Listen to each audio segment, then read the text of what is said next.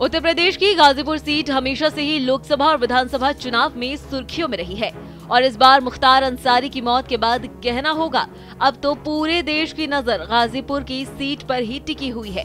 India गठबंधन की तरफ़ से समाजवादी पार्टी ने पहले ही मुख्तार अंसारी के भाई, अफजाल अंसारी को यहाँ से चुनावी मैदान में उतार दिया है।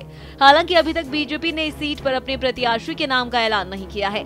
वैसे प्रत्याशियों के नाम की चर्चाएँ लगातार जारी है। ये भी कहा जा रहा है की सुहेल देव भारतीय समाज पार्टी के सिम्बल पर गाजीपुर की सीट ऐसी प्रत्याशी उतारा जा सकता है। बता दें की मुख्तार अंसारी के भाई अफजाल अंसारी बसपा के सिंबल पर गाजीपुर से चुनाव जीते थे।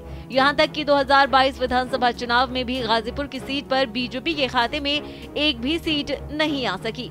इसके अलावा गाजीपुर के क्षेत्र में चर्चित नाम अंसारी परिवार में मुख्तार अंसारी की मौत के बाद से एक सहानुभूति लहर का भी दावा राजनीतिक विशेषज्ञों की तरफ़ से किया जा रहा है। इन्हीं सब के बीच बीजेपी की तरफ़ से अभी तक प्रत्याशियों के नाम का ऐलान न करना भी सपा का गाजीपुर की सीट पर हौसला बुलंद कर रहा है।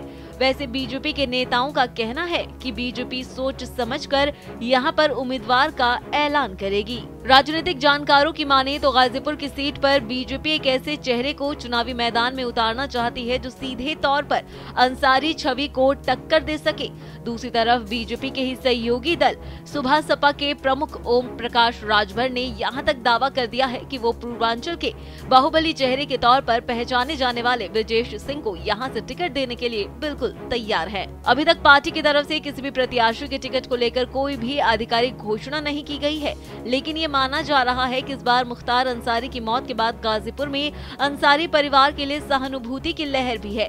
वैसे देखना होगा कि इस बार गाजीपुर के चुनावी मुकाबले में बीजेपी अंसारी परिवार को शिकस्त देने में कामयाब हो पाती है या नहीं।